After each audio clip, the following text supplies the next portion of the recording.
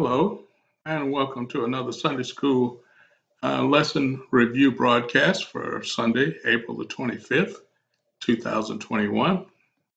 Our lesson review is taken from Romans, the 8th chapter, verses 18 through 27. And I am your host, Minister William Gadson, and I greet you in the exalted name of Jesus Christ. See, it is Jesus that enables us to get the Word of God out to you, the listening public. We originate from Greater Peace Missionary Baptist Church, located in the Killeen, Fort Hood, Texas area. Our address is 4201 Zephyr Road, Killeen, Texas 76543. Now, you can reach us by telephone at area code 254 680 4378. If you prefer, however, to reach us online, our website is www.greaterpeace.com. You can also communicate with us by email. Our email address is greaterpeacembc at peoplepc.com. And we at Greater Peace Missionary Baptist Church provide a greater variety of services for, well, we provide a variety of services anyway for your Christian growth. A complete schedule of services and activities can be viewed on our website. So please join us in extending God's kingdom here on earth. And I am your host, Minister William Gadson, and I thank God for you supporting this ministry. Now let us pray before beginning our Sunday school lesson. Gracious Father, it is again that we are here, that I am here presenting the lesson for this Sunday, this Sunday. And Lord, it's a pleasure to do this. And I ask that you would continue to guide me in all that I do. Help me to be the messenger and, and not the one that's basically making the message up on my own. I want this to be your word. I want the Holy Spirit to guide me as well as those that are listening so that we both can get a greater understanding of you and your ways as we study and go through your word. I thank you for these things and I pray for these things in Jesus' name. Amen. Now, for my introduction, last Sunday's lesson focused on Christians being dead to sin and alive in Christ. Now, in this in that lesson, uh, we discovered that our acceptance of Jesus as Lord and Savior means we have a new relationship with God. Now, while on earth Christians know that spiritually we are dead to sin, but physically we live in a body that has a sinful nature. Now, the Holy Spirit guides our sinful nature so that we are one with Christ. That is, our natural tendencies is to sin, but the Holy Spirit lives within us and acts as a counselor to guide us in conquering the old sinful nature. Now, in this Sunday's lesson, we are focusing on the anticipating redemption. Now, our lesson for today focuses on Romans chapter 8, chapter verses 18 through 27. However, all of chapter 8 should be understood in order to fully understand the meaning of our lesson taken from verses 18 through 27.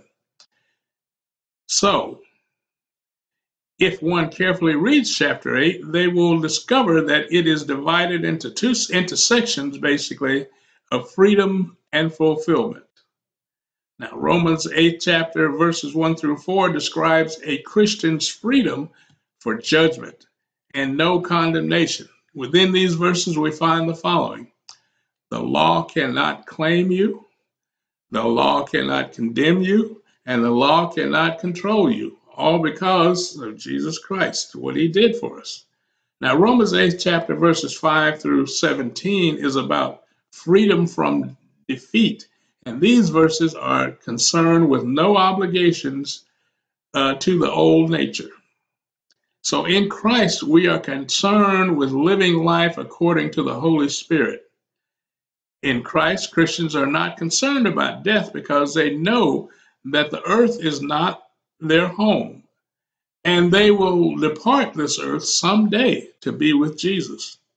Now, unlike the old nature, Christians do not rebel against God. We submit to his ways. Christians do not live according to the flesh. Christians live in the spirit. Now, it is not enough for us to have the spirit but the Spirit must also have us if we are to be in Christ. Now, Romans 18th chapter, verses 8 through 30 have another freedom, and that enables freedom, talks about enabling Christians to know they have freedom from discouragement or frustration. Now, life on earth is filled with groans. That is, when we said define groans as with things that have given us deep, mournful sounds, uttered in pain, sorrows, or anguish. In all our time on earth, at some point in time, we will suffer from oppression and afflictions. And these are the groans, that is, the sufferings, with deep mournful, where we make deep mournful sounds. Sometimes we don't say anything. Sometimes it's just raising your hand because you can't think of anything else to say. Raising your hand to Jesus. Now, all of creation suffers with groans because of sin that was brought into God's perfect creation. Now, in these verses, Paul states that there are three groans affecting God's created earth. God created a perfect place on earth for everyone and everything that lived in the beginning. But the introduction of sin into this perfectly created earth caused creation to groan, believers to groan, and the Holy Spirit to groan as well. Genesis 1:31 states that God saw everything that he had made and he said that all was very good. But sin, the sin of, of Adam and Eve changed God's very good creation. God said to Abraham, to Adam, because you have heeded to your wife's voice, the following things will occur. Cursed is the ground for your sake. You will toil to provide food to eat all your life. Thorns and thistles will affect your ability to produce food. You will only eat if you are physically if you physically remove the thorns and thistle constantly from the fields that you grow your food. Because if you don't, the thorns and thistle will overtake the food that you planted. Now, God said to Eve that he would make childbirth painful for her as well as all daughters born of, to a woman. Now, you may have missed the meaning of what happened because of sin. Now, there are three things of creation that groan and suffer because of sin. The sin that came about through Adam. Creation itself groans.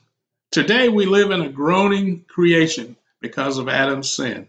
Creation was perfect, but this earth suffers from a curse today brought on by Adam. Because of Adam's sin, every part of God's creation is subjected to the curse on earth. All creation groans. Thorns and thistles and noxious weeds uh, began to grow with that curse that God placed on earth. And the daughters of Eve suffered for pain during their childbirth. The created animals groan also because they too are affected by the curse on the earth. The absence of water, green grass, sufficient food are all the results of the curse God placed on the earth because of Adam's sin. And these are the things animals depend on to live. They can't speak, but they are affected by the curse that brought, was brought on by Adam. Now, all of creation is awaiting the day of redemption when the earth will be transformed again into a place like the Garden of Eden was. Now, all of creation is basically that's what they're waiting for. Now, believers groan also. Believers groan because we also are awaiting that blessed day when creation will return to the way God created it. We are awaiting that day because we have been given a foretaste of what life will be when we meet Jesus in heaven and all creation will be made anew. And we anticipate that day as a child anticipates Christmas and the various gifts and toys they receive. They believe that they will receive anyway. Christians are, are waiting to see that the streets, see, Christians are waiting, in other words, to see what the streets of gold are like in heaven. They want to see what kind of dwelling place they will live in for eternity. The kind of place that they pay no rent and no electric bill, no light bill either. But above all, Christians groan here on earth in, in anticipation of seeing Jesus and to see the redeeming bodies we will inherit because of Jesus' sacrifice here on earth. Now, throughout our groans on earth, we are willing to suffer them because we know Everything will be made anew when Jesus takes his church to live with him. In addition to the groans of creation and of believers, another important person also groans. The Holy Spirit groans. When Jesus was on earth, he groaned for the trials and tribulation of the people. Today, the Holy Spirit groans with us and feels the many burdens of our weaknesses and our suffering. The Holy Spirit not only groans for us, he prays for us in his groanings so we can be led into the will of God. We do not always know God's will for us, and oftentimes we do not know how to have have the will to pray because of the things we suffer. Now, during these times, the Holy Spirit intercedes for us so that we can maintain a life that is within the will of God. If we are so distressed, so distressed that we can't speak, the Holy Spirit is there for us to speak for us. The believer does not have to worry about faltering with respect to, uh, to God's word because we know that the Holy Spirit is working for us to assure that our faith continues to grow. So, my hope is in this introduction is that these few words will help you in your walk with Jesus. Life on earth is filled with groans, that is, while we're here on earth, we suffer with deep, mournful sounds, uttering in pain, sorrow, or anguish. And all our times on earth, we will suffer from oppression of some time and afflictions. But we should wait on the Lord because our hope and joy is in the Lord for all creation. This is the end of my introduction. So let's get started with our Sunday school lesson. Our Sunday school lesson is titled anticipating the redemption. The lesson text is taken from Romans 8th chapter, verses 18 through 27. And the golden text is Romans 8th chapter, verse 23. And it reads, And not only they, but ourselves also, which, which have the first fruit of the Spirit, even we ourselves groan within ourselves, waiting for the adoption to wit, the redemption of our body. Lesson sections are there are three of them. First section is suffering experienced, Romans 8th chapter, verses 18 through 21. Salvation explained, Romans 8th chapter, verses 23, 22 through 25. And finally, spirit empowerment, Romans 20, Romans 8th chapter, verses 26 through 27. So let's get started with suffering experienced verses 18 through 21. Starting at verse 18, it says, For I reckon that the suffering of this present time, the sufferings of this present time, are not worthy to be compared with the glory which shall be revealed in us. Now, in Revelation's 21st chapter, verse 4, it states that in heaven, all the worries we had and all the tears we shed and because of memories or things that would happen on earth in the past will no longer exist because this verse states that God will wipe all tears from our eyes. There will be no more death, mourning, crying, or pain because God will remove, remove all, all of these things. So, based on this verse alone, one can see that nothing in this time that we are living can compare to the glory of what God has revealed to us in His Word about living with Him in heaven. Now, verse 19 reads, For the earnest expectation of the creature waiteth for the manifestation of the sons of God. And verse 20 reads, For the creature was made subject to vanity, not willingly, but by reason of him who had subjected the same in hope now, all of creation is awaiting the day when manifest, manifest, manifestation of the sons of God or the righteous ones will see the manifestation of God's words come true.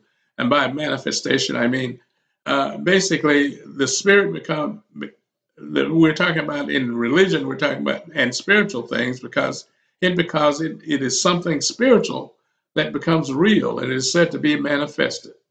So this thing that comes becomes real basically is this manifested by God. Now, all of creation is a waiting day when manifest, manifestation of the Son of God or the righteous one will see the manifestation of God's word come true. At that time, children will become what God always, children of God that is, will become what God always meant for them to be when He created them. He did not mean for them to be become sinners. He meant for them to live in a perfect world that He had created.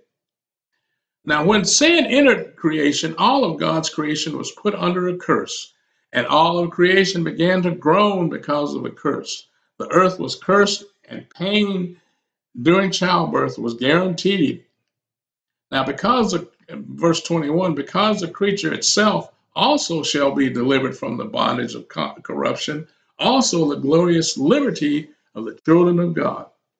Now, Paul states here that the entire universe is now held under a curse, and the universe is awaiting the day when the curse is done away with. The earth itself is waiting for the day when it will no longer be under the curse and free of all thorns and thistles and weeds that were not meant to be from the beginning. God didn't mean for them to be here, but because of sin, they are here. Mankind desires to be free from oppression or afflictions because mankind groans under the weight of the curse brought on by Adam's sin. Now, the creatures on the earth groan also, in that it is said that how the animals groan. The herds of cattle are restless because they have no pasture. Even the flocks of sheep, suffer punishment, all because of Adam's sin. Now, all, how long will the land mourn and the grass of every field be withered? Because the evil of its residents, the animals and the birds, have been swept away. For the people have said, We cannot see what our end will be. All of the creatures suffer. The birds and animals suffer. They cannot speak to us and tell us what's wrong, but we know that they're wrong. What's wrong with them because we see them dying during famine. We see them without water, nothing to eat, and they are groaning, making untoward sounds because they have nothing to eat, and they are dying. Now, when the day come, when the day the curse is removed, creation will be free from the bondage of corruption and God's children and creation will be a glorious liberty, such as it is in heaven today. Now, today, because the curse of earth's humanity, the earth itself and the creatures on the, on the earth are cursed. Now, when we talk about groaning, we said basically groaning is to breathe with a deep murmuring sound, to utter a mournful voice as in, a, in pain or sorrow. For we that are in this tabernacle, that is this body, do groan, being burdened, and basically to sigh, to be oppressed to, or afflicted, or to complain of oppression. A nation uh, grows under the weight of taxes, for that matter. So that's an example. But we grow, we groan under the weight of sin. Now, salvation explained it basically is our next section, and that is Romans 8 chapter verses 22 through 25. And verse 22 reads, For we know that the whole creation groaneth and travaileth in pain together until now. That is, the whole of creation groaneth because of sin. The creation didn't create sin, but man did. And God put man in charge of the earth, of creation for that matter. Now, the children of God see all of creation and they know that the whole creation groaneth. That is, they know that oppression and afflictions or oppressions uh, will exist on earth and keep everyone under a condition where they are being burdened with so many things. Excuse me. And not only they, but ourselves also, which have the first fruits of the Spirit even we ourselves groan within ourselves, waiting for the adoption to wit, the redemption of our body. Now, not only does creation groan, but all of mankind groans also. All of God's children groan under the oppression of the curse brought on by sin. And then we know it said that the man was cursed. He had to basically live by the sweat of his brow. But we, man, has been rather artful. He doesn't have to go out and sweat anymore. He has air conditioned tractors to grow the food by. He can go out there. But God is not mocked because even though he does not grow with the sweat of his brow, he is still subjected to death because all of the things that we do, the fertilizers is used, all of the materials they use to grow the feed has caused cancer and all kinds of uh, things, uh, health afflictions on mankind. So God is not mocked because man has created all of these things where he can control the sweat on his brow, but he, he still can't grow food without going under the ruleship of God. But believers are the first fruit of the Spirit because we have been united with Jesus. And as such, we have a guarantee that we are the first fruits of the Spirit. That is, we have made the necessary installments to ensure our resurrected life when, when the curse is removed. We know that we will be with Jesus because we have given our life to Him here on earth. Verse 24 reads, For we are saved by hope. But hope that is seen is not hope. For what a man seeth, why doeth he yet hope for?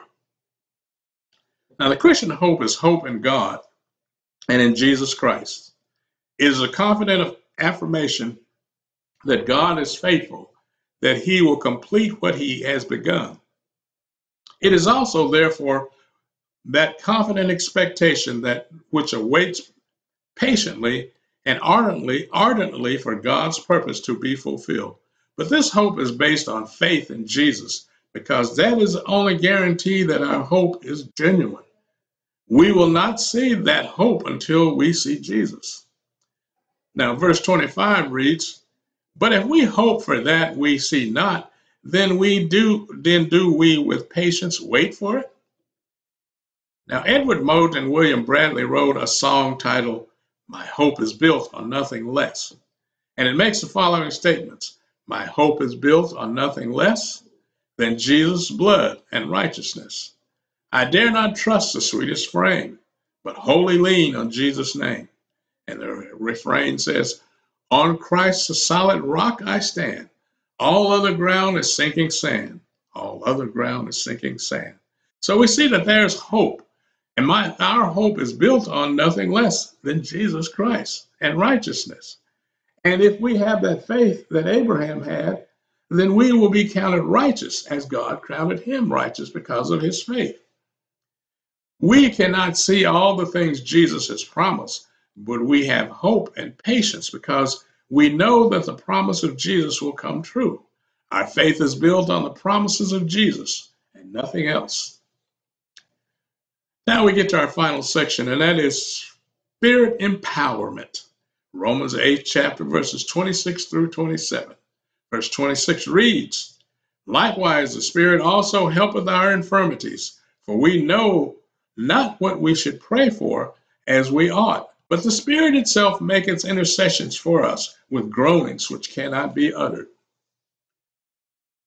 Now, have any of you ever suffered from pain or suffering to the point that you could not come up with words to explain explain your feelings during prayer to Jesus.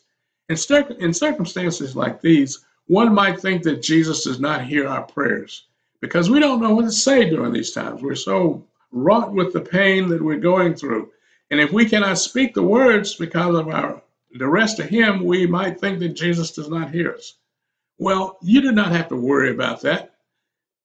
Uh, that you could not come up with the words to explain your pain or your suffering because the Holy Spirit can speak the words for you that you cannot personally speak due to your duress and suffering you are going through at the time when you speak to God or pray to God. The Holy Spirit knows what you're groaning through, going through, and that you cannot come up with the words to express your prayers to Him. So the Holy Spirit will reveal to Jesus the words you cannot come up with to express your sufferings because of your sufferings also. Now, the Holy Spirit will express to Jesus for you the groanings which you cannot speak because of your suffering. Now, verse 27 reads, And he that searcheth the heart knoweth what is the mind of the Spirit, because he maketh intercessions for the saints according to the will of God. Now, in the Old Testament, anytime a common person, or any person for that matter, came before a king, he had to do so in an acceptable manner. He could not just go into the presence of the king and begin to speak his mind, because if he did, he likely would be put in jail or die. Even Queen Esther was afraid to go before the king, her husband, because she realized that he had the power of life and death if she was not asked to see the king or the king did not indicate to her to come forth. Well, in the New Testament, things are a little different. When the sinner comes before King Jesus, listen, Jesus listens to what the what the sinner has to say. Now, so let's listen to a few verses from Matthew, a verse basically from Matthew the 20, 11, Matthew the 11th chapter, verse 28. It says, "Come to me, all you you who are weary and burdened, and I will give you rest." You see, there's always already a difference between going for Jesus and going for a natural king. John, the sixth chapter, verse 37 reads, Everyone whom the Father gives me will come to me, and the one who comes to me I will never send away. Jesus is not like the normal earthly kings, you can see.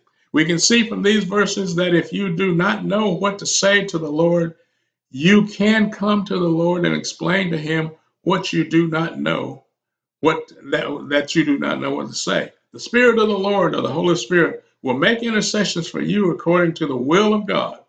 So a child of God need not fear coming before God in prayer and not know what to say in his prayers to God. And that, my Christian friends, is the end of our Sunday school lesson. I hope something has been said that will be a benefit to you through this week and throughout your life because it is God's word, not my words. I have been merely the messenger delivering God's word. So let us close in prayer. Heavenly Father, I am indeed thankful. Thankful for those that are listening. Thankful for you for giving me the necessary courage and necessary will to do your will, to follow what the Holy Spirit lead, how the Holy Spirit leads me and not how I want to be led. I want this lesson to be something that people realize that it doesn't come from me, it comes from you. I am the basically the servant delivering the message. I thank you for all that you've done for me, and I pray for all of those that are listening. And Lord, I pray that you will, above all, help them to use this lesson to get a gain a better understanding of you, because a better, gaining a better understanding of you means that we understand you better and we realize that we have to obey you. If we don't realize those things, then we're just like the unsaved sinner. We might just not believe in you at all. But we know that we, those that are listening, believe in you. And those that may not be, those that are listening may not believe in you, I pray that the Holy Spirit will pierce their hearts so that they can understand the meaning of what it means to be with you. These things I pray and ask in the name of Jesus. Amen.